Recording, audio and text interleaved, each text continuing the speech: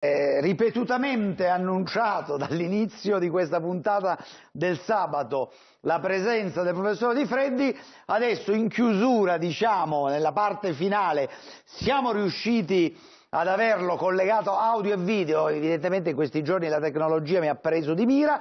Allora, eh, professor Di Freddi, per, siccome so che lei ha seguito però tutta la puntata, ci ha ascoltati, una sorta di cammeo le facciamo fare. Allora, rispetto ai temi che abbiamo affrontato, l'Italia è un paese per giovani, sì, no, per anziani, sì o no, gli egoismi generazionali, eh, ci dica un po' cosa ne, ne pensa di tutta questa discussione che è venuta fuori.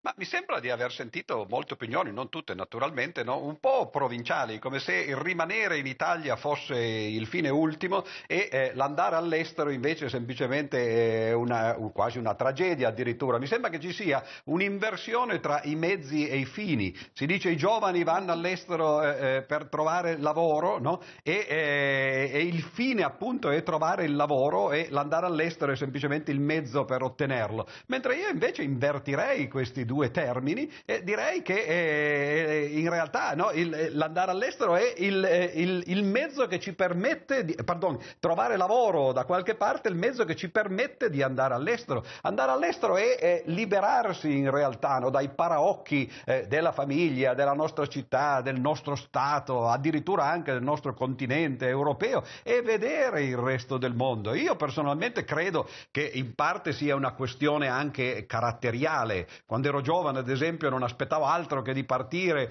e eh, se ci fossero state le possibilità che ci sono oggi per esempio di andare a fare il quarto anno delle superiori all'estero ci sarei andato di corsa appena ho potuto prendere borse di studio per il postdoc sono stato due anni negli Stati Uniti due anni nell'Unione Sovietica ho insegnato eh, tra gli Stati Uniti e l'Italia pendolando per 18 anni eh, sono stato in Australia per esempio in Nuova Zelanda no? in, in Argentina cioè vedere il mondo è in fondo uno dei fini della nostra vita.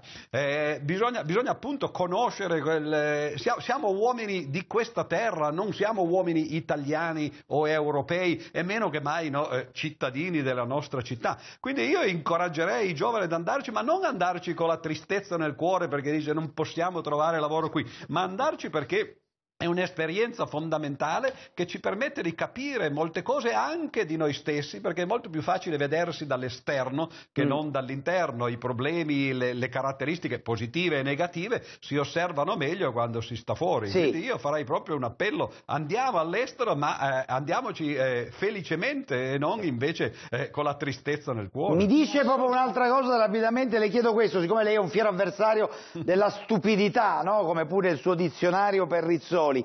Eh, mi, mi, mette insieme, eh, le voglio definire così, due perle di stupidità che lei ha sentito che ritiene tali rispetto alla discussione, al dibattito su giovani e anziani, per esempio in Italia?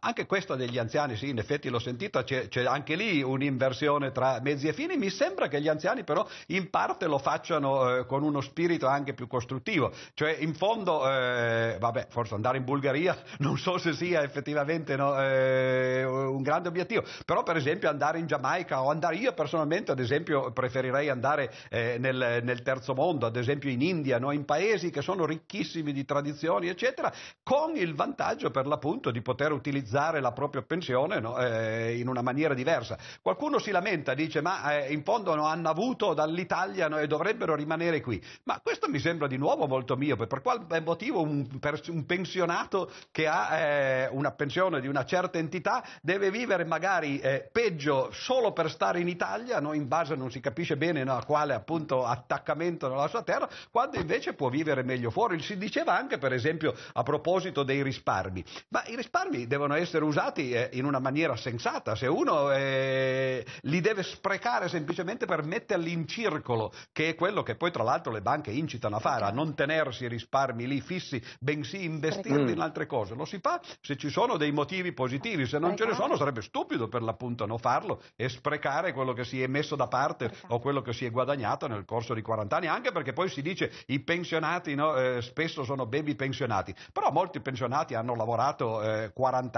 per l'appunto no? come, come, si doveva, si sono guadagnati questa pensione mm. perché non la devono eh, spendere vivendo magari meglio no? di come vivrebbero qui in eh, Italia. Attenzione che, che Martone la chiama dinosauro poi, eh? Eh, un pochino sì. È un po'